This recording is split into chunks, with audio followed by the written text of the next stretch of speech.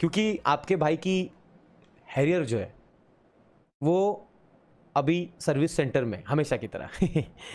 कम से कम सात दिन लगेंगे बोला है, क्योंकि सिम्बा जी ने उसकी वायरिंग खा ली है मेन वायरिंग और मेन वायरिंग खाने के बाद अंदर का जो सर्किट होता है, कुछ इंपॉर्टेंट चीज़ होती है, वो जल गया है। तो वहाँ के लोगों ने ट्राई किया कि होता है क्या, लेकिन वो बोले कि ये करना सही नहीं है, गाड़ी नहीं है एकदम तो लफड़ा हो जाएगा। तो उन्होंने डिसाइड किया कि पूरी वायरिंग बदलनी पड़ेगी। मतलब पूरी की पूरी वायरिंग बदलने में कम से कम चार दिन जाएँगे, ऐसा वो बोले। मैंने बोला, ठीक है। कितने की वायरिंग उन्होंने हम बता दें आपको कैलकुलेशन लेके। वो गए, वो आए। उन्होंने दिखाया सिक्सटी सेवन थाउज़ेंड की वायरिंग मैंने बोला कि वायरिंग लेके जो बाइक आने वाली है वो भी उसके साथ फ्री है। ये दोनों का भाव है या फिर कैसा क्या है? मतलब विषय बताओ। तो उन्होंने बोला नहीं नहीं ये वायरिंग के साथ बाइक भी नहीं मिल रही आपको। बस वायरिंग ही है जो आपको चेंज करने के सिक्सटी सेवन थाउज़ेंड है। मैंने बोला इतना महँगा क्यों. तो उन्होंने बोला गाड़ी महँगी तो उसका सामान भी महँगा। अगर इसकी जगह आप अल्टो लेते तो वही वायरिंग आपकी छः सात हज़ार में हो जाती। मैंने विचार किया। फिर मैंने आपको रोका और मैंने अपना चेहरा ऐसा पाड़ के उसको बोला,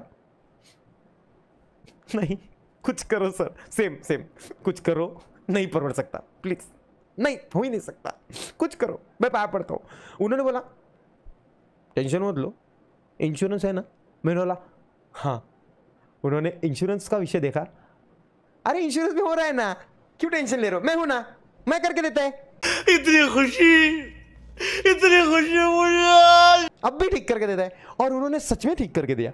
उन्होंने वो चीज़ इंश्योरेंस में डाल दी है। और अपने सिक्सटी सेवन थाउज़ेंड बचने वाले। मैक्स टू मैक्स हज़ार दो हज़ार का खर्चा आएगा। उससे ज़्यादा नहीं आएगा।